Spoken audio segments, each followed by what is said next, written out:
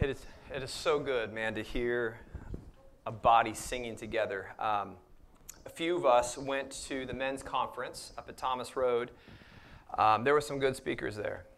But one of the most powerful things is when you listen to 5,000 men lifting up their voices to the Most High God. Men that are actually coming together because they have the intentionality to say, God, I'm in desperate need of you. I am not finished. I am not complete. I'm in need of you. I need your spirit to transform me. I need your spirit to have your way in me. I am not a man without you.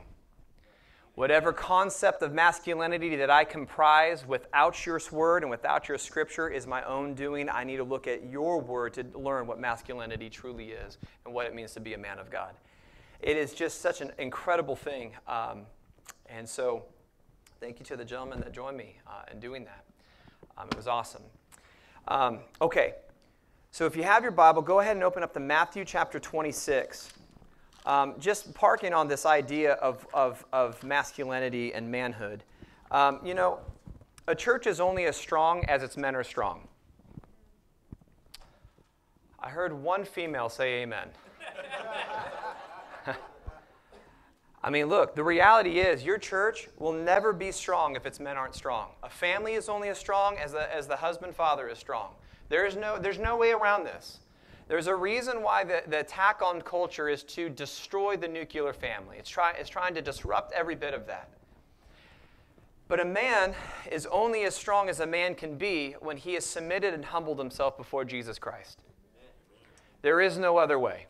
There is nothing else. You cannot experience true manhood, men, until you have submitted to Jesus Christ. And that means in everything. There's not one area that, that is off limits to Him. And one of the ways that this transpires, the way that this looks within, within a church body, and listen, I'm not saying this to put anybody down, but the reality is, the statistics are that women do more leading in ministry things than men do. Men just sit and abdicate the responsibilities within their home, within their church.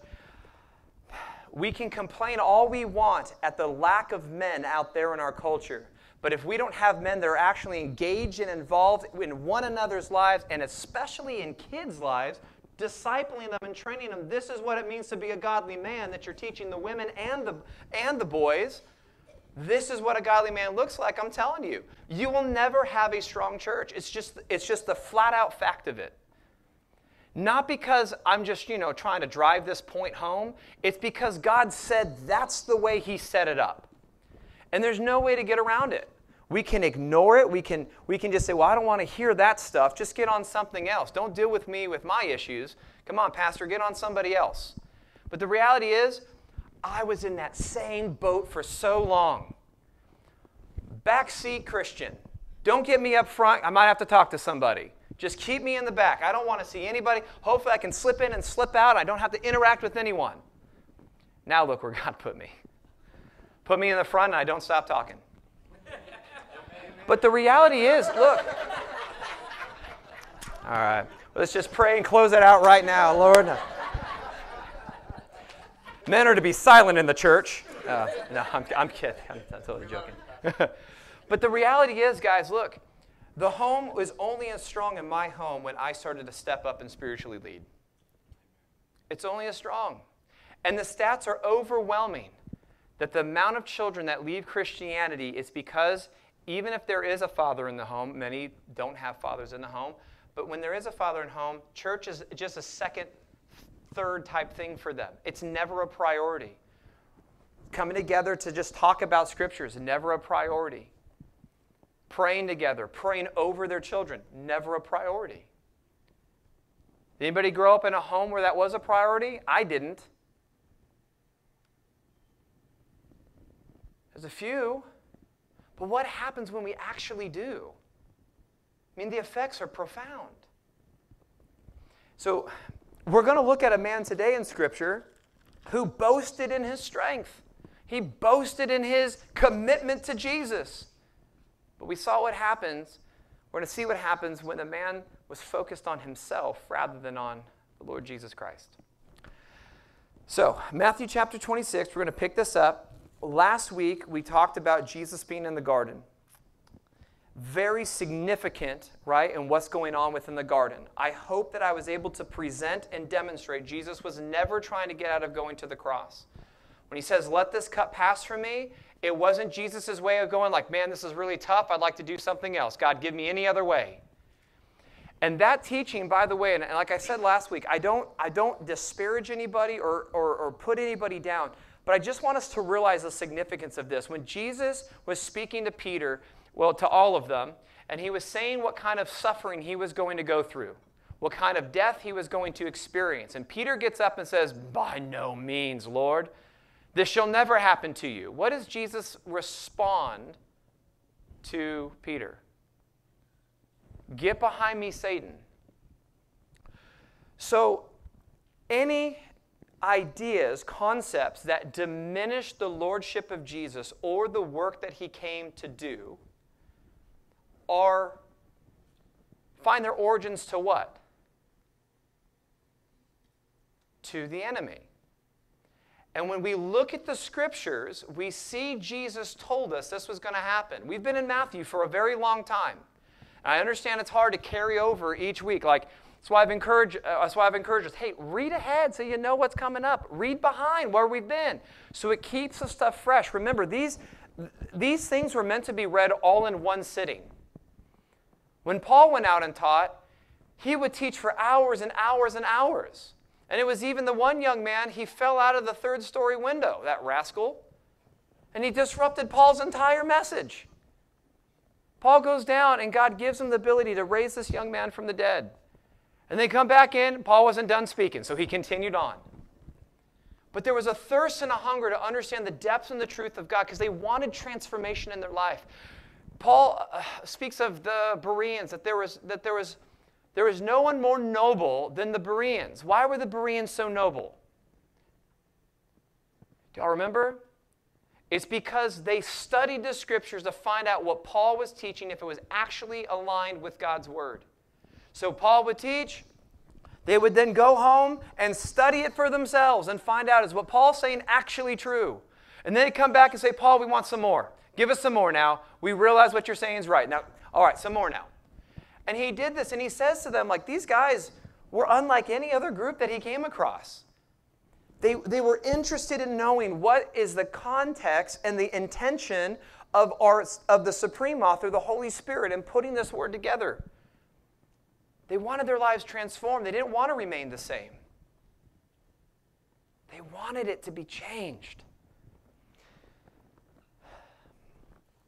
And this is why, like we talked last week, that it's so critically important that the concepts that we have of God, that they have to be rightly aligned to His Scripture. A finite being like you and me cannot understand the infinite being of God except that by which God reveals Himself to us. It has to come by way of revelation. And then that revelation and conceptualization that we have has to be aligned with His Word. That's why the psalmist says God exalts His Word and His name above all things. Jesus says, Sanctify them in truth. Your Word, God, is truth. This, this is where our thinking is conformed to. Any other thing is wrong. And it's hard to say that, that, yeah, to say amen to that. It's easy to say it in speech, it's very difficult to put that into practice. Because the scriptures, when we're honest, it actually reads us. It confronts us with something. It does something to us. And we can choose to stifle that or we can choose to respond to it. And the encouragement is, beloved, man, never quench the Holy Spirit.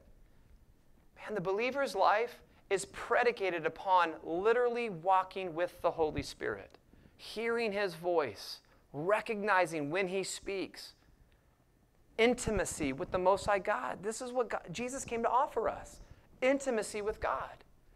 And it took Peter a minute to get this. It took Peter a long while to understand this. He kept operating by his own strength and his own ability. Man, Jesus, far be it from you that you would have to go through that suffering. No, definitely not. Get behind me, Satan. Anything that diminishes Jesus' ministry, it's satanic. Its origin is from the enemy. Because if the enemy can make your God little to you, little, or relatable to you, in the aspect that I now I, I understand Jesus in this way because I can relate to that. When we start doing things like this, we, we, start, we start getting on the threshold of potential heresy. Now that seems maybe a little bit like that's, that's a little, that's a little uh, extreme, Shane, don't you think? He gets us campaign. And you go like, they could actually put out a lot better imagery to understand that he gets us. Look, often I've heard when Jesus is in the garden that I can understand Jesus is trying to get out of going to the cross because I can relate to that. I can understand that. Listen, beloved, I don't want to relate to God. I want a God that can relate to me. I don't want to get to the point where it's like, oh, okay, yeah, Jesus is like me. No, no. I'm supposed to become like Jesus, right? Do, you see the difference? These are subtleties. You go like, well, you're splitting hairs, Shane. It's, it's these kind of hairs, though, that, that change everything the way that we think about God. And like we spoke last week, man, unless our conceptualization of, of, of God is accurate, it's idolatry then. The essence, the very essence of idolatry, as Tozer says, is entertaining thoughts of God that are unworthy of Him. What does that mean? That aren't true, that aren't accurate. Peter had to go through something pretty extreme to get him to have this heart change, this deep heart change within. And it wasn't immediate, it took time. And this is this work of sanctification continually happening. So we have Jesus in the garden. We explained extensively last week that Jesus is not trying to get out of the going to the cross. When this text is used to indicate Jesus is trying to look for another way, it's diminishing the incarnation of Jesus, why he even came. And we get this, we get this reality here. Um, verse 43, 26, chapter 26, verse 43 And he came and found them sleeping, for their eyes were heavy. So, leaving them again, he went away and prayed for the third time, saying the same words again. Then he came to his disciples and said to them, Sleep and take your rest later on. See, the hour is at hand, and the Son of Man is betrayed into the hands of sinners. Rise, let us be going. See, my betrayer is at hand. While he was still speaking, Judas came, one of the twelve, and, within, and with him a great crowd with swords and clubs from the chief priests and the elders of the people. Now the betrayer had given them a sign, saying, The one I will kiss is the man seize him. And he came up to Jesus and at once, at once and said, Greetings, Rabbi. And he kissed him. Jesus said to him, Friend, do what you came to do. Then they came up and laid hands on Jesus and seized him. And behold, one of those who were with Jesus stretched out his hand and drew his sword and struck the servant of the high priest and cut off his ear. Then Jesus said to him, Put your sword back into its place. For all who take the sword will perish by the sword. Do you think that I cannot appeal to my Father and he will at once send me more than 12 legions of angels? But how then should the scriptures be fulfilled? That it must be so. And at that hour, Jesus said to the crowds, Have you come out against a robber with swords and clubs to capture me? Day after day I sat in the temple teaching, and you did not seize me. But all this has taken place that the scriptures of the prophets might be fulfilled. Then all the disciples left him and fled. Okay, so let's break some of this down. First off, in this scene, we have Jesus coming out of, out, out of the prayer. Last week we looked at John 17 to see what, John, uh, what Jesus prayed before moments before he went into the garden and prayed. Now we've got Jesus saying to his disciples, Look, take your sleep another time. My betrayer is now at hand. And Judas said I was, he was going to give them a sign, that he would kiss the man. Now, this is very interesting because it's not like the chief priests and, the, and all these people didn't know who Jesus was. Jesus was rather a famous, a famous fellow. But it's something very interesting that Judas says, I'm going to kiss the Son. I'm going to kiss the one that is, is, is, is Jesus. I want us to look over in Psalm chapter 2.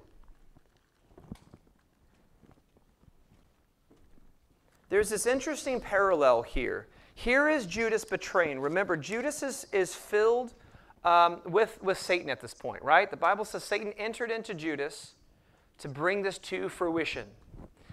Um, Jesus talks about when we looked in John 17 that Jesus prayed for his disciples. He lost none that were given to him. There was just one, the son of perdition, the one that was meant to, to do this in order that scriptures might be fulfilled, that someone was going to betray him. We saw the parallel a couple weeks prior with King David and one of his closest friends and advisors did the exact same thing when Absalom tried to usurp the throne from David. But remember, in Absalom trying to usurp, usurp the throne, was because of his dad's inaction to his sister being raped. So it wasn't just like Absalom was going like, "Hey, I'm just going to throw daddy at, at, out of the throne because I want it." He was furious that his dad was complacent, apathetic to what happened to his sister, did absolutely nothing, being one of David's daughters as well. Complacency always leads to greater sin. The enemy looks for opportunities to make believers as complacent as possible. And one of the dangers for manhood is comfortability. I'm comfortable. I really don't want to change anything I got going on. But something I, uh, there was a theologian that read and listened to a while back, and he said something very interesting about the Holy Spirit. He said, The Holy Spirit is dangerous. The Holy Spirit is dangerous, but He's safe. Why is the Holy Spirit dangerous? What was He trying to convey and get across? Is He calls us to action. He puts us into things that aren't comfortable. He puts us into environments that aren't comfortable. He pushes us outside of ourselves. That's where the growth is at. It's, growth isn't in the comfortability, growth isn't in the things that are just familiar. But are we really truly willing to follow Jesus wherever he sends us and leads us? And we go, we want to say yeah. But that begins right here in our families and in our church family. It starts right here. Jesus isn't sending you say, hey, go out there and be a spokesman powerfully for my kingdom. Be, be, be a Billy Graham for me. If we're unwilling to even do anything right here, it's not like you go from, you know, zero miles an hour to 200 miles an hour in no time.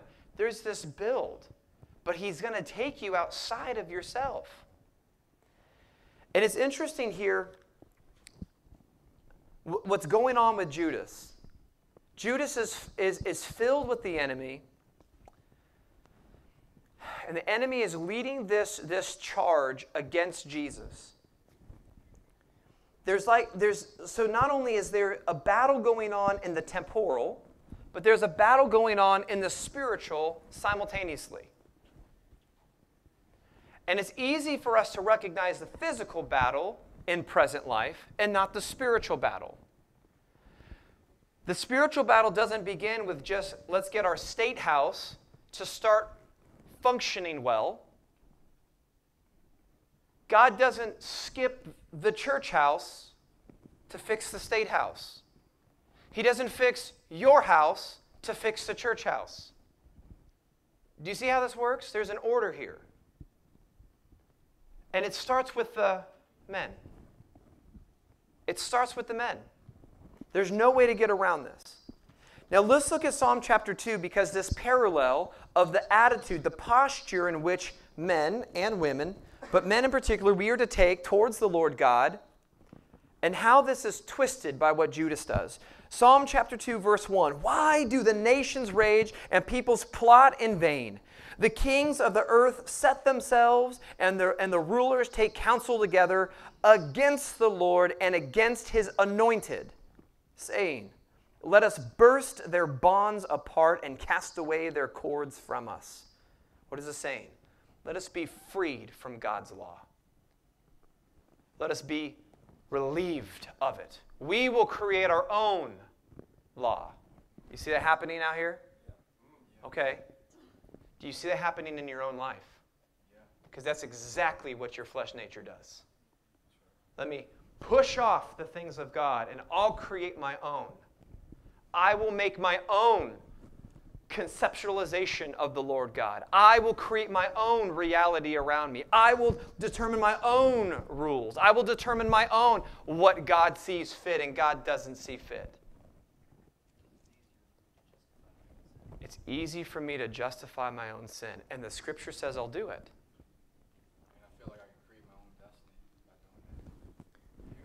Yeah. You create a path that leads into destruction. You create a path that if God's not actually guiding our feet, and how does He say that He'll guide our feet? His word is a lamp to our feet. It will and a light unto our path. We don't walk in darkness. This is why Paul says later on, you are not children of darkness. You, have, you are not, this is why he says later on, do not walk as the Gentiles do in the futility of their minds, alienated from the life of God. This is not what you have learned in Christ, assuming that you've learned. You're not children of the darkness, but you are children of the light. Therefore, come out of the darkness. When Jesus to Nicodemus in John 3, I came into the world, the light came into the world, but the world loved its darkness more than it loved the light. Darkness is something we're going to naturally go to. And what this is, it doesn't include, like, oh, well, Shane, I don't do sin. I'm not running around in egregious sin. Remember, sin begins where? In the mind. And the most dangerous sin for any believer is crafting a God in their own image, in their own mind. This is what I think God ought to be like. Why? Because I can relate to him now Uh, it, it makes sense to me. This is what the psalmist is saying. Not only do the rulers of the world do this, but we have to realize we also try to burst the bonds of Jesus, cut those things away. Verse 4 He who sits in the heavens laughs, the Lord holds them in derision. Then he will speak to them in his wrath and terrify them in his fury, saying, As for me, I have set my king on Zion, my holy hill. So, what is God saying? Man can reject the Word of God. And he laughs. The arrogance and pride in man that we think we can reject the things of God and that it will come to pass. God's Word will always come to pass. Amen? Amen. It will always, always come to pass. And notice his anointed in verse 2. We've got here in verse 6. He's talking about his king. This is messianic psalm. I tell of the decree. I will tell of the decree. The Lord said to me, You are my son. Today I have begotten you. Y'all heard that somewhere before? Ask of me, and I will make the nations your heritage, and the ends of the earth your possession. You shall break them with a rod of iron and dash them in pieces like a potter's vessel. This has multiple Old Testament illustrations of this. God talks about when he is disciplining Israel, that he's going to use his rod of iron to correct them, to chastise them, to bring them back to a place of repentance and humility. See, Christianity begins with this premise of total humility. You understand the gospel is offensive. Has anybody ever been offended by the gospel? It's offensive because what does it tell me? That I am a sinner and there's nothing I can do for myself. It tells me that, behold, there's nothing good in me. No, not, nothing. I don't really like hearing that. I remind my wife all the time about how lucky she is and how good she has it. Get, catching such a guy like me. But apparently, the scripture says something opposite. I don't wash my wife in that part of the word. I, I, we ignore that. I'm kidding. You know, the Bible says, Husbands, wash your wives in the word. So if you're not actually doing that, husbands, you're breaking a command. Okay? But but but but check this out. We are to actually be washing our wives in the word, and guess what happens with our wives? The wives respond when they see a godly man that they can follow. They naturally respond to that. They look at that and go, that is that is a man that's following after the Lord. That's attractive. I want to follow that. It strengthens the bonds of marriage. Go figure. When we did the marriage study, um, there, were, there, there, were a few, there were a few of you that came to that. But one of the things we discussed and talked about that any marital problem you're having is not a marital problem, it's a God problem. It's a God issue. And unless that God issue is straightened out, the marriage will not be fixed. You can't circumvent the most basic principles. It's like, it's, it's something that we do in Christianity. I'm guilty of doing this a lot. That I just want to try to ignore certain things and just, you know, harp on the things that I, that I got that keeps attention off of me, but I can point fingers at everybody else. And Jesus talked about this on the Sermon on the Mount, did he not? Quit worrying about the splinter in your brother's eye until you worry about the log in your own. The reality is, the entire scripture is telling us your behavior isn't right, and you can never have right behavior because you're spiritually dead. And unless I bring you life, you will never have life. Do you, do you recognize in yourself that you are spiritually dead without God? That there is nothing, there is no life, there is no fullness, there is no joy, there is no peace, there is no real life in you without the Lord Jesus Christ. If you realize that, do you consistently seek him as though he can be found? Because guess what? He's calling. Jesus says, I stand at the door and what? And any that open the door to me, I will come in and do what? Eat with you, dine with you, dwell with you. The entire Christian walk is saying, Jesus is saying, look, there's nothing there's nothing you can do on your own for me. Nothing. Not even cast out demons, not even good works, not even feeding the poor. None of it. None of it can you do in me, for me, without me. It's not by my own strength. That's a hard thing like to like really get. Because what is it doing? It's pushing me to a place of humility, is it not? It's pushing us to a place of humility that to realize, like, wow, there is nothing I can do apart from the Lord God. The Bible says, What is man except the breath that's in his nostrils? Your heart stays beating. You're, you keep breathing because why? Because God allows us to. He completely, totally allows us to. Our body does this involuntarily. It's a subconscious act. Our brain just keeps the thing functioning we can hold our breath. I got one breath in me, and I can hold it, but eventually it's going to exhale. What is man except the breath that is currently in his nostrils? And the irony is, we didn't even put the breath in our nostrils. Why, beloved, does God have you on the planet today? At any point in history, at any point in time, He could have planted you. Why today? Why now? Why in your family? Why with the people that you have in your life? What's the purpose that you, that you exist for? It's not just for your job and a retirement. There is eternal significance. One of the, one of the things that was powerful, and one of the speakers at the men's conference is like, he doesn't want to get to the end of his life and realize he wasted it pursuing things that didn't matter. And that isn't, that isn't a job. Remember, it's not a job. There is no bifurcation, there's no separation between what is holy work and what is secular work.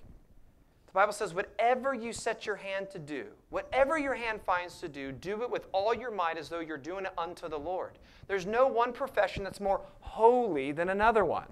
There's, none, there's not one that's more eternally significant than another one. Because no matter where God has placed you, no matter how God has gifted you, it's for a purpose for his kingdom work. Do we believe that? So that means that our lives, no matter what job we have, has eternal significance. But what can happen is we can get comfortable, get complacent, become apathetic, and we lose perspective of why we're here or what we're here to do. The purpose of why God has actually put life in us. We can do all we want to try and break against God's words and God's ways, but His way will be done. Verse 7 I will tell you of a decree. You are my son. Today I have begotten you. Ask of me, and I will make the nations your, your heritage and the ends of the earth your possession. You shall break them with a rod of iron and dash them in pieces like a potter's vessel. Now, therefore, O kings, be wise, be warned, O rulers of the earth. Serve the Lord with fear and rejoice with trembling. Kiss the Son, lest he be angry and you perish in the way, for his wrath is quickly kindled. Blessed are all who take refuge in him. So, what is the scripture saying? It's teaching us this posture that we are supposed to come to the King of Kings, the Lord of Lords, and we have been created to kiss his face. But the betrayer came and kissed the face of the Son. For what purpose? Not to recognize the lordship of Christ to turn him over for 30 pieces of silver, the price of a dead slave, according to the Old Testament. Beloved, we can do the same things in our lives.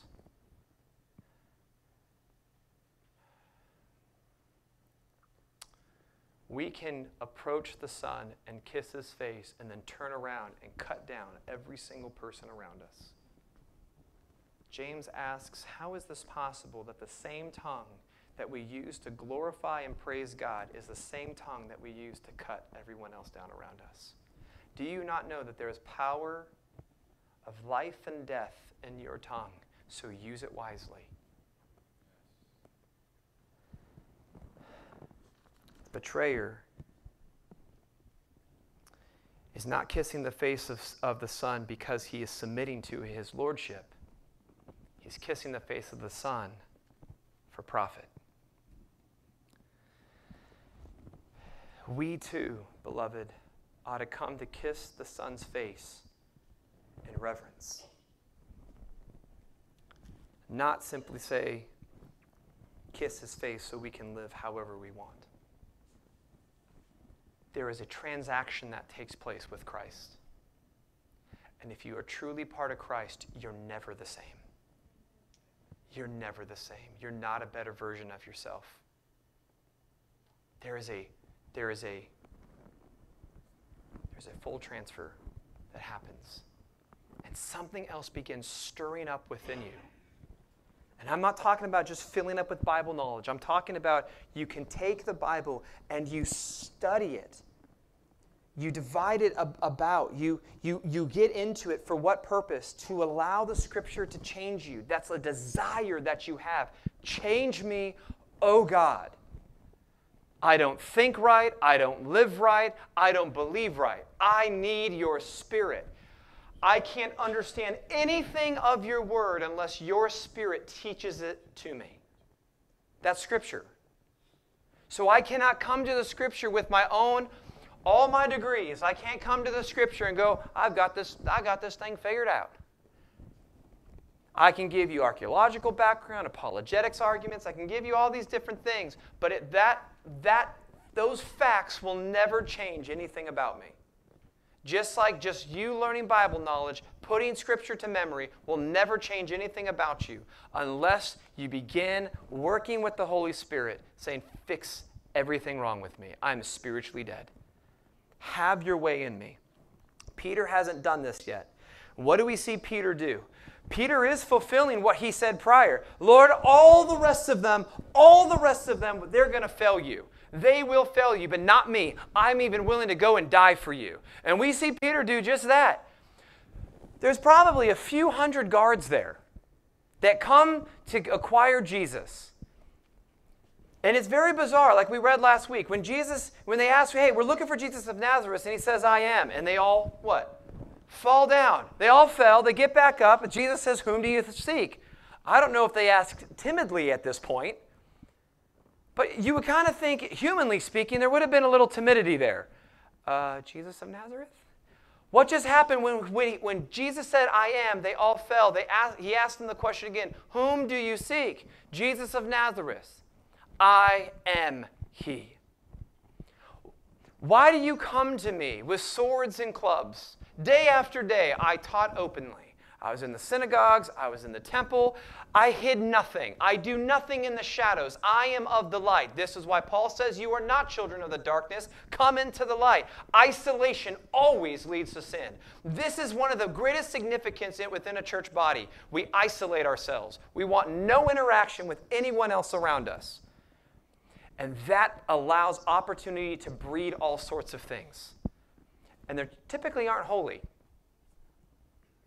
Everything Jesus did was in the public. It was an open, it was an openness. He had his disciples around him. We go, well, that's Jesus, Shane.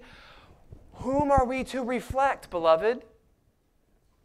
Not myself or my own conceptualization of what I think it ought to be. I am supposed to be transformed more and more into the image of Christ. That's what He has predestined you to become. But you can't do that on your own. It requires, number one, the Holy Spirit to do it within us. Number two, it requires a body of believers around us to do what? Hold us. Oh, that dirty accountable word. I don't want accountability. Let me just be my own self. Put on the Jesus face when I'm around everybody, but in private, I'll watch what I want to watch, do what I want to do, listen to what I want to listen to because it's all about me. God knows my heart. Oh, man, beloved, this is do not accept cultural Christianity, this American complacent Christianity. There is such life. When you read, and we'll eventually get to the books of Acts, and you see how the early church began, began functioning and operating with one another, it, all of us, when we read that, we go, That is beautiful. I would love to experience that. There's not a single Christian I've talked to, hey, what do you think about the church Acts? Oh, it's amazing. It's phenomenal. Oh, I want to, I would so love to have been there and experienced that. You know what the only thing that's preventing us from experiencing that today? We're not doing it. It's us. The Spirit hasn't changed. The same transformation, the sanctification process hasn't changed. The life aspect of the Holy Spirit hasn't changed. But this is what happens. We start doing everything on our own accord. We even do church on our own accord. We do our worship on our own accord. We do it all by our own strength and power. And this is what I've mentioned this before, as, as Tozer has said. Man, like 90% of what happens in the New Testament church, it would all cease if the Holy Spirit left. But 90% of what we do today in church would continue to operate and function if the Holy Spirit left. We have prayed for decades for revival. Generation after generation, begging and pleading God for revival. Do you think God is deaf? Why has revival not come? He's not interested. He doesn't care. He wants it all go to turmoil. I mean, in fact, Jesus says, "Hey, before my return, it's going to be it's going to be like hell." Well, we just got to let it go to hell then for Jesus to come. Why has God not answered that prayer? Prayed by millions for generations. I can tell you, beloved, because we have replaced obedience with prayer. God even says in the Old Testament, when sacrifices and everything were laid on the altar, that I desire obedience over sacrifice. This is why we, we talked about before. In the Hebrew language, there is no word for obey. It comes from the Hebrew word shema, which means to listen, a derivative. Simon, Shimon, it's a derivative of shema. So there's a play going on with Peter. Remember, it is it, Peter. We'll get to that in a second. But there's this interaction that is going on. Shimon is meant to be, you are to hear and to repeat the things that you hear. You can't very well repeat the things that you hear if you're asleep, Peter. Why are you sleeping? Pay attention. Your spirit's willing, but your flesh nature is weak. Pay attention, Peter. You cannot repeat the things that I tell you to do when you're falling asleep. Peter, I told you the enemy is coming to sift you like wheat, sift you hard. Remember, we talked about it's this violent shaking. He's going to do everything he can to do what? Jesus literally says, for it to destroy you. But I have prayed that your faith will not fail. And when you when you return, when you epistrepho, when you repent, when you come back to me, because you're going to fall, Peter, when you come back to me, strengthen your brothers. But notice what happens here in the garden. Peter is fulfilling what he said he would do. Oh, man, I'm willing to fight and die for you, Lord. He cuts off one of the priest's servants' ears. We realize in the Gospel of John that John, his family, somehow knew the high priest family. There was some connection there. But the Gospel of John points this out. This is why they're able to go further into the court as they follow Jesus. And this is also why John knows this servant's name, that his ear was cut off. And we see this example take place. Peter was wise not to strike one of the Roman officers because that would have been certain death for him. He, was he selective in what, what he went to strike, or was it just the closest thing near him? Don't know, but we do know this. We see Peter's raw emotion character of who he is. There's hundreds standing before Jesus, and this man pulls out one little sword and is like, Bring it on. this is certain death, but bring it on. I'm willing to die for you. Put away your sword, son. Don't you know I can't call 12 legions of angels? And they would come, they would deliver me from this moment, but how would Scripture be fulfilled if I did that? And we see what transpires here. Let, let's, let's continue moving forward. The very end of verse 56 is critical. Excuse me. It says, Then all the disciples, excuse me, left him and fled. They all fled. Just like he talked about earlier in, uh, in, uh, in this chapter, that all of you will, will leave me. Then those who had seized Jesus led him to Caiaphas, the high priest, where the scribes and the elders had gathered, and Peter was following him at a distance. That's where we often like to follow Jesus, is at a distance. We want a little bit of Jesus in our life. We don't really want it all. Because if we did, that might cost me something. So let's just be comfortable. I'll follow him at a distance. As far as the courtyard of the high priest, and going inside, he sat with the guards to see the end. The Gospel John points out that John knew the guards and somehow knew the high priest, so that's what allowed them to go into the court of Caiaphas.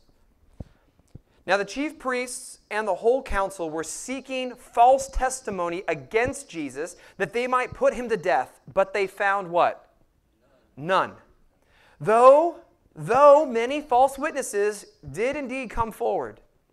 At, le- at last, two came forward and said, This man said, I am able to destroy the temple of God and to rebuild it in three days. Did Jesus say that? Not quite that way. He said, Destroy this temple, and in three days, he will raise it up. He didn't say, I'm going to destroy the Temple Mount. He said, Destroy this temple, and in three days I will raise it up. And John gives us clarity of what Jesus meant by that. He was talking about the temple of his body. Destroy this body, and in three days I will raise it up. But remember, it's false witnesses coming to make false accusations. Has anybody ever been falsely accused of anything? Is it not one of the most aggravating things ever? Why does it feel so personal? Because it is personal. They're attacking your very character, your integrity, your honor. And it's extremely aggravating. So we can all relate to this point false testimony being, being brought against him. And the high priest, verse 62, and the high priest stood up and said, Have you no answer to make? What is it that these men testify against you? But Jesus remained silent. And the high priest said to him, I adjure you by the living God, tell us if you are the Christ, the Son of God. I want to pause here just for a second. Last week we looked at Isaiah 53. Go back to Isaiah 53 because some of this is beginning to be fulfilled right in front of us again. So, Isaiah 53, we see within um, this particular part, with Jesus remaining silent. Look here in 50, Isaiah 53, verse 7. He is going to be the anointed one, the Messiah. He was oppressed and he was afflicted, yet he opened not his mouth. Like a lamb that is led to the slaughter, and like a sheep that is before its shearers is silent, he opened not his mouth. Jesus is going as the propitiation for our sins. He is going as the atonement. Remember, what is this night right now that's going on? in G- at this point? What did Jesus just celebrate with his disciples? Passover. Jesus is going as the Passover lamb to the cross. For what purpose? To be sacrificed, just like a Passover lamb was to be sacrificed. And we're going to get to this. We're actually going to see Jesus sacrifice on the cross at the same hour that the lambs were sacrificed at the temple. Jesus is fulfilling all of this right before their eyes. And verse 7 there in Isaiah 53 is talking about that he remains silent when these charges are being brought against him. People are going to assume Jesus must be guilty of whatever he's going through because there's no way an innocent man would go through what he's going through. If he truly is God, let him call a God and rescue him. Bring him down from that cross. Remember, Paul says later on look, if the rulers of this age knew what they were doing, they never would have crucified Christ. They never would have allowed this to happen. They would have tried to prevent it every single way that they could. And remember the irony when they, when they paid Judas the 30 pieces of silver, they took the, te- the money from the treasury in the temple. The currency in the temple was used to buy to purchase sacrifices.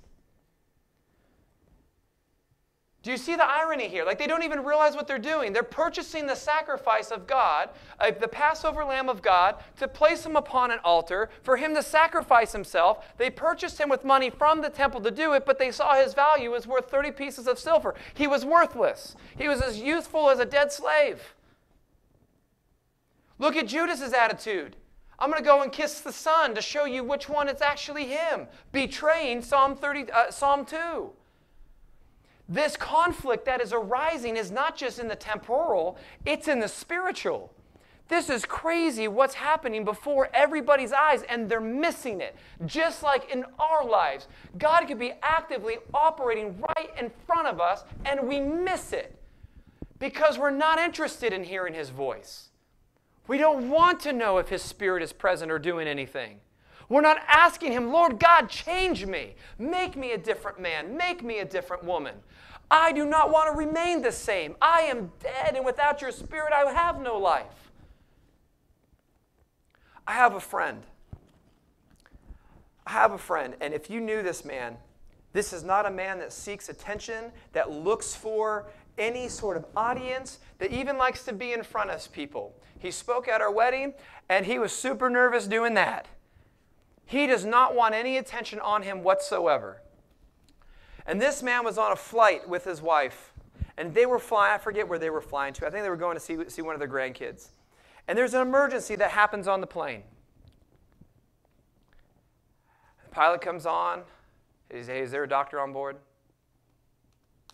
And that call goes out a few times. And my buddy is sitting there in his seat, buckled like every good passenger should be.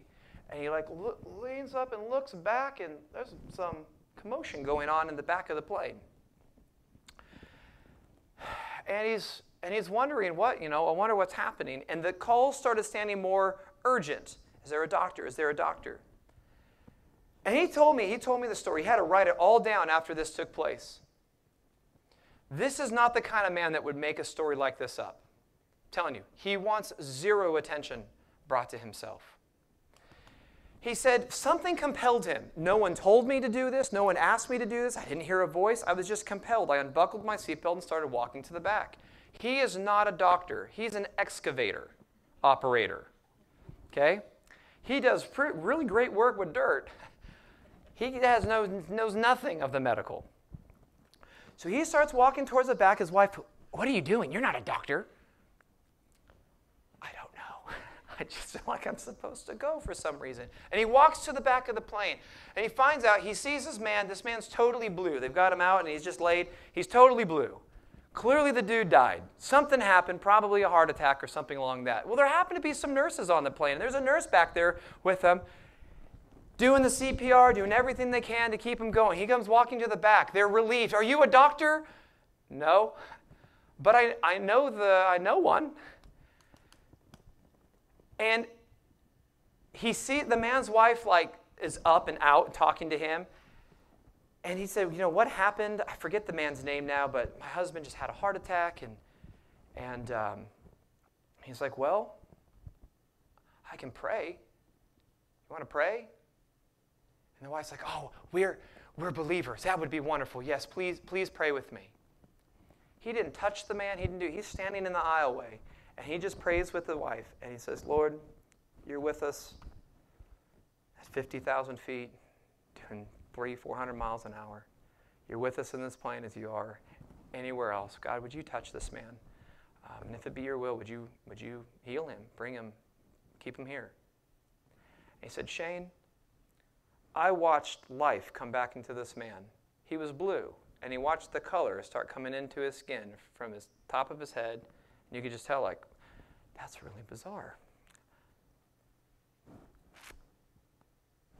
The man whew, came back.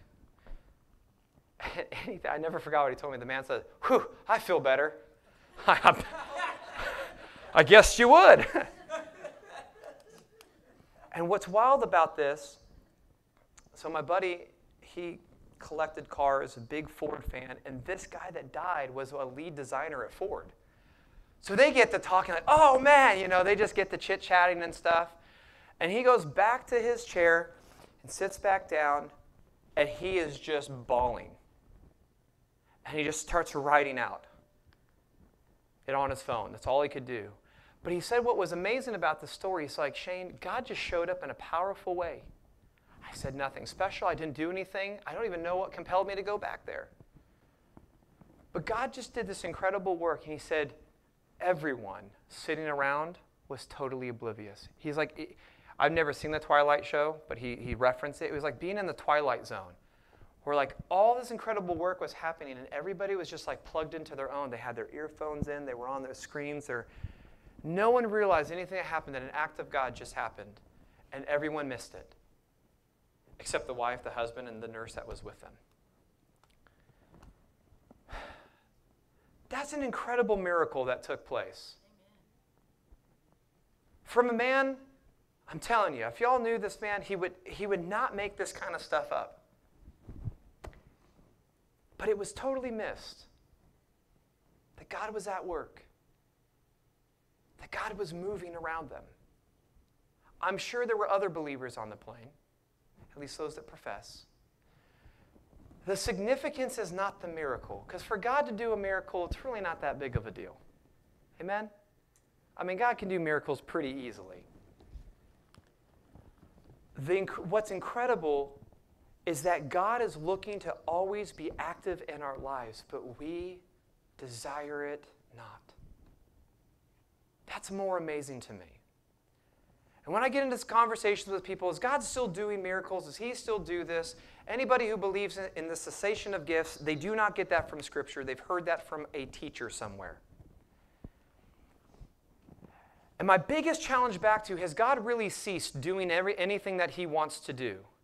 I ask the question Are lives still being changed? Is the addict still being delivered? Is the, the person in bondage to pornography, to adultery, to whatever it is, are chains being broken? God is every day. That is the power of God that does that. It's the power of God. God is still at work in our lives. But so often we try to go about it in our own strength and our own ability. And Peter is not yet understanding what's going on. So Jesus Jesus is brought before the high priest, he's brought before the council, all sorts of testimonies coming against him. They find what? No fault in him. Why is this significant that he's brought before the high priest? Because the high priest represents all the Jewish nation unto God. Does that make sense? What must the Passover lamb, according to Exodus 12, have happened to it? It must be inspected and found without spot or, blem- or blemish, that it must be found blameless. And now he's standing before the chief of the Jewish people, being found blameless. And look what happens next. Now, now the high priest, not realizing that Isaiah 53 is being literally played out in front of him. In fact, Caiaphas even prophesied earlier It's interesting, the Gospel of John points this out, that it was actually Caiaphas that said earlier in Jesus' ministry when the Pharisees and chief priests are all up and they're all getting ruffled, we got to stop this man. And the high priest, it says he prophesied, he did not say this of his own account, but the Spirit says through him, one man must die for the sake of the nation. He didn't realize he was saying something prophetic that was going to happen. So now it's being fulfilled. This, this verb, these words that he said earlier in Jesus' ministry, they're now coming to fulfillment at this point. Jesus is now fulfilling what is required of the Passover lamb. He's been inspected. His triumphal entry when he comes into, into Jerusalem to Passover is four, it's four days four days, Jesus has been inspected exactly like how the Passover lamb was supposed to be inspected. On the 10th day of the first month, the Passover lamb is selected. They inspect it for four days to make sure it's without spot or blemish, and then they slaughter it on the 14th day. It is a Passover. The day that follows Passover is called the Feast of Unleavened Bread, which goes for seven days. And then the first the first day of the week following the Sabbath during the Feast of Unleavened Bread is called the Feast of First Fruits. You're going, that was a whole lot of information you just threw at me. What's the significance? It's because literally every one of the feasts in the Bible are prophetic to the Messiah. They point to Jesus. So why does Christianity adopt things that have nothing to do with Jesus, but we and we reject the things that do have to do with Jesus? Why? Because it's the ways of man. I will decide how I will worship God and God knows my heart and so he'll just receive it. We, we take this approach constantly. And the irony, just to show the connection on this point right now, the irony, what's coming up on March 31st? Easter, right? No surprise to us. When is Passover? April 22nd.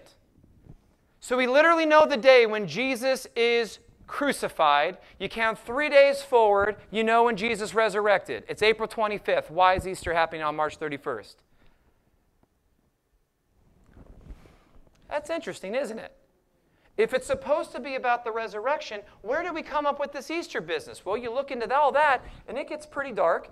But the reality is, the reason why Christianity celebrates Easter is because the Catholic Church decided at the Nicene uh, Council, some good things they decided there for the doctrine of Christianity. They also decided, you know what, we're going to make Easter and bring this about. We're going to blend the pagan holiday, put it in with the resurrection, and we're just going to go along with it. And they fixed the set of dates in which it would happen. Not going by when it actually happens, but what was convenient and comfortable and, you know, understandable.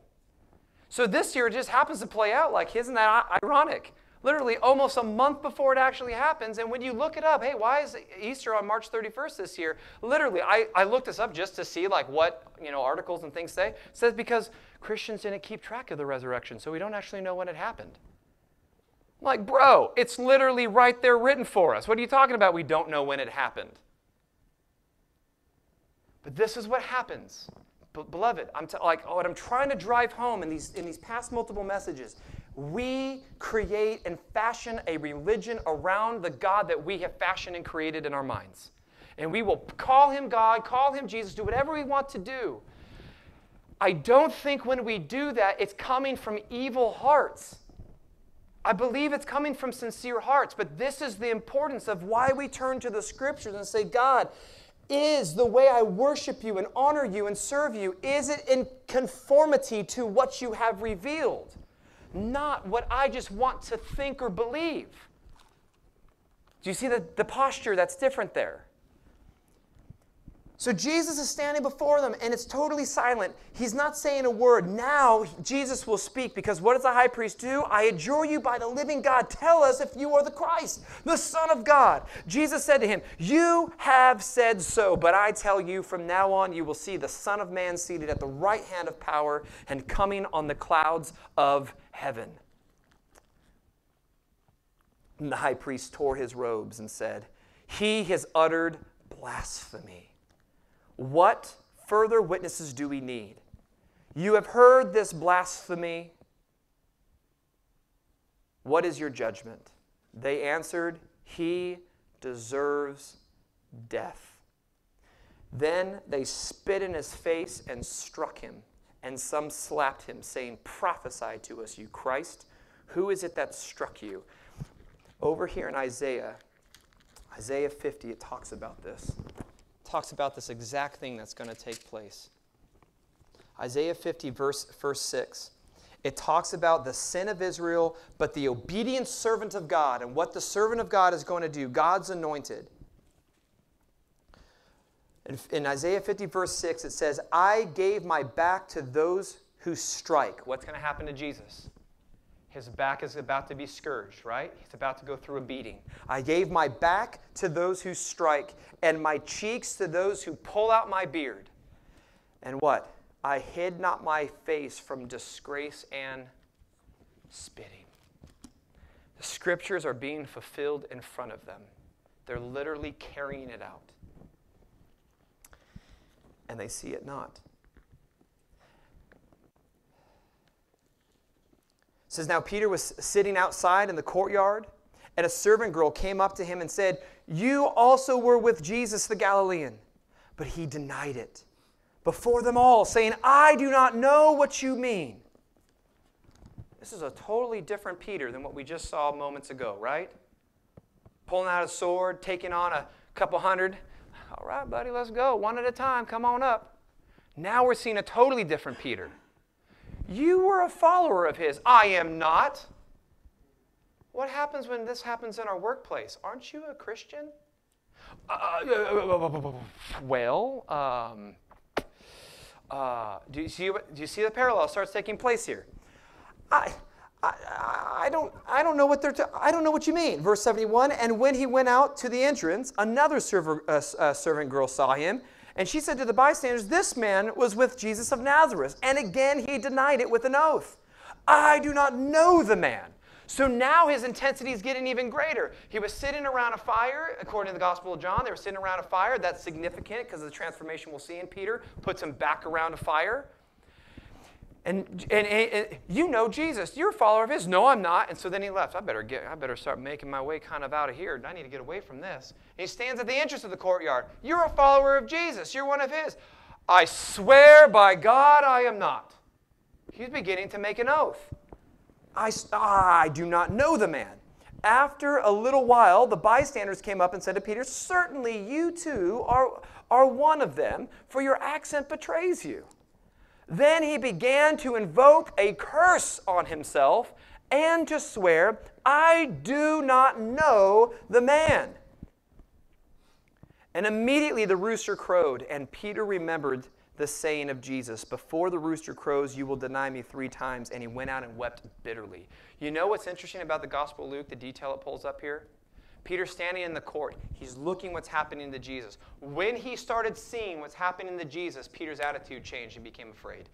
Now he's like, ooh, I, ooh, that's bad. All the council is coming against him. They're holding a council at night, which is against the Jewish law. They're seeking false testimony in order, and now they're in order to condemn him to death, and now they're calling for his death. And Peter's like, uh-oh, this has gotten real. Never mind. I'm not ready to take on a band of soldiers. I'm now frightened. I'm going to now try to uh, deny, like, get away. It's the same thing that our flesh natures will do. We want to say, boy, if we were to face persecution and difficulty, I'd stand up for Jesus. Would you really? What happens when you stand up for Jesus in your job? What happens if you stand up for Jesus in your family? What happens if you stand up for Jesus in your own life? It means your flesh nature has to be crucified.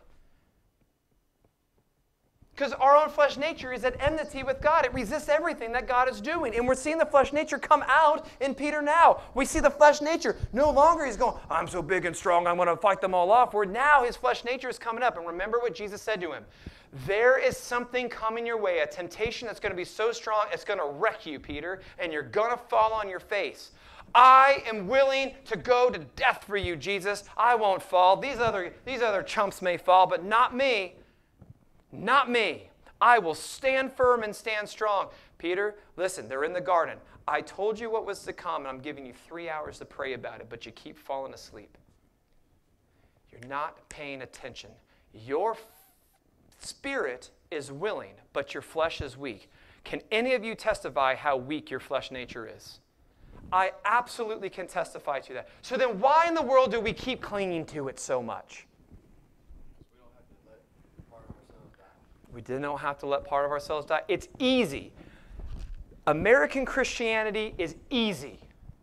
It's, it's so easy, so many claim it. And Jesus literally said, early in the Gospel of Matthew, not everyone that says, Lord, Lord, is truly one of mine.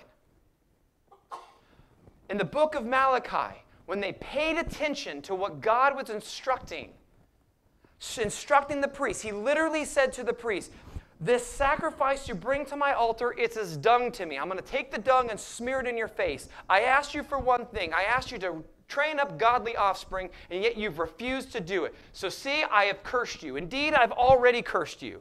You have corrupted what the priesthood is. You can't blame the people, priests. You taught them to behave this way.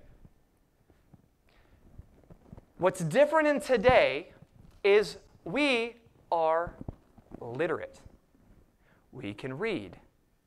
We can listen to whatever teachers we want to listen to. We can listen to whatever our itching ears want to hear. We can follow after whatever we want to follow because people can absolutely corrupt the text. This is why this is why I've said to you countless times, beloved, study the scriptures and find out if what I'm saying is actually true. It's why we go verse by verse through the Bible. Using the Bible to interpret the Bible because what is required of us? It's a lesson that took me many years to get, even though I was saved and I was following after Christ. It took me many years to understand every bit of me has to die. There's not a single part of me that is permittable or accepted in heaven. None of me. It's all got to go. And it took me years to get that. Years. 17, actually. But I could preach the scriptures. Prayer does work. But the scriptures weren't changing me. I could tell you what you needed, I could tell you what God could do for you. I could flip all through here. Where do you want to go? Let's talk about it but it was doing nothing in the person of my, of my heart. We can put on the mask as long as we want. But the reality is, God says there's nothing of you that is permitted in my presence. All of it's got to go. But the exchange that I give you is unlike anything you will ever, ever experience. I don't give the way the world gives. I give you my life. I give you my peace. I give you everything that I am, that you and I can abide together, and the Father will come and abide, the Spirit will come and abide, and the four of us will abide together. It's life. And when you encounter God, you're never, ever, ever the same. You don't even want the old stuff anymore. You don't want the flesh nature to come up. You want it all gone. But American Christianity has taught something that you, all you have to do is repeat a prayer and you're good to go. Have at it. You got, you're rescued from hell. Have fun. Just be a good person. Be a, cuss a little less, drink a little less, whatever it is. Just do a little less of whatever you used to do. Do some good stuff. And we got to sit around and wait for the rapture to happen. It's coming. And boy, it's going to get real bad before, before Jesus returns. We just got to let it happen. I mean, it's just got to go to pot. That's just the way it is. But you, you're a good person. American Christianity has taught us something that it doesn't cost us anything to follow Jesus. That idea is totally foreign to the Bible. It is a lie. And in my opinion, anything that diminishes the lordship of Jesus is from the enemy exactly what Jesus said would happen in Matthew 13 that the demonic would make their nests inside the churches in order to confuse people and deceive people, right to their own destruction. This is why I say to us over and over, beloved, man, don't just take my word for what this thing says, study it yourself. And if it is true, if what I'm calling us and encouraging us to, ask God to make that real in your life. Make it real. Don't be satisfied with whatever you've experienced with God. I know some of y'all have experienced incredible things with God. Don't be satisfied with that. Like, boy, that was sure good 30 years ago. Oh, I remember. Boy, it was so good. It was so great. Your best times are yet to come. Amen? It's still yet to come. Peter, is still at this point, relying on his own strength. The Gospel of Luke points out as Peter is in the court, he can see Jesus and what was going on. The Gospel of Luke says that when, when Peter denied Jesus the third time, it says Jesus turned and looked at him. And Jesus began to weep bitterly. I don't think the look of Jesus was like, ah, told you so. Stupid disciple just doesn't get it. I told him what was going to happen, and he just he just doesn't get it. I don't think it was that look at all. This is after the man's been struck, his, weird, his beard's been ripped out, him spit on, everything. He turns and he looks at Peter, and I guarantee you, those were eyes of compassion. They were eyes of utter compassion, not you miserable failure. It was eyes of compassion. I told you, son. Now, when you return, strengthen your brothers. And it overwhelmed Peter. But that emotional experience didn't change him yet. It still didn't change him. And we'll get to this point in the Gospel of Matthew. But Jesus puts Peter back around a fire The same type of thing where, Jesus, where Peter denied Jesus three times, Jesus is going to put him around a fire and ask him three questions. Same question three times Do you love me? And we're going to see this, this conversation. And Jesus is asking him, Peter, do you love me? Oh, I love you. Yeah, I love you. Feed my sheep. Peter, do you love me? Yeah, I love you. I got to see the transfiguration. I'm the only dude that walked on water. These other chumps didn't do it. Although this time, when he sees Jesus on the shore, he doesn't walk on water, he jumps in and starts swimming.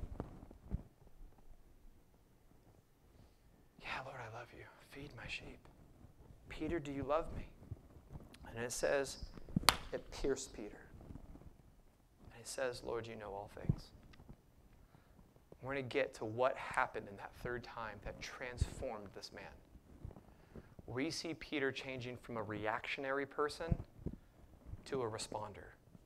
He no longer acts out of his flesh nature, and we catch a glimpse of this in Acts chapter 2. The change, the transformation, what actually took place in Peter. But the work wasn't finished in Peter. The work continued as you that's what's so beautiful about this New Testament. You see the frailty of all of its heroes that all of its heroes had to die to themselves in order that God's strength can live in them. Beloved, you keep walking your Christian life under your own strength, it will be as powerless and dead as you've experienced. If you start allowing the Holy Spirit and, and, and asking Him to move within you, to churn up His Spirit within you, it will be like anything you've ever experienced. And you will actually have something worthwhile sharing with others. You will see a peace in your life you will see a joy in your life. You will see a confidence in your life. Guess what starts to happen to fear and doubt? Because where there is perfect love, it casts out all fear. And when that love of God begins welling up within you, you're never the same. You start going, wow, I didn't know this was possible. It doesn't mean that you don't fall on your face sometimes. It doesn't mean that you're not tempted. It doesn't mean that you don't make mistakes. But you start seeing that there is a transformation that takes place within, and you're never the same. And you've got something life changing now to offer other people. Rather than saying, let me tell you about him, you can say, come and see. The very words that Jesus said to his disciples, come and see. Amen? Amen. Father, God, we glorify you, we praise you, and we recognize that your word is absolute truth. We are to be sanctified in your truth. And God, it's so difficult sometimes because even when I'm up here talking about these things, it's, it's, uh, it's penetrating my heart and it's sanctifying me. I pray, Holy Spirit, that you continue your work among us.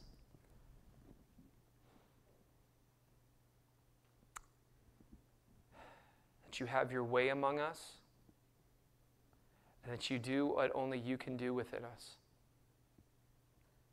God, I pray that as, as many of us are soon about to leave and go and carry on about our business and plans, I pray, God, that we reflect upon your words. Anything that was of me, let it be forgotten, but may whatever you have spoken, may it be um, swirling around in their minds, stirring up within their minds and their conversations wherever they're going, meditating upon your word, listening to your spirit. Because in you there is life. In us there is only death. And you've offered us a transference. God, help me, help us never to neglect that transference. It's in Jesus' covenant name we pray. Amen.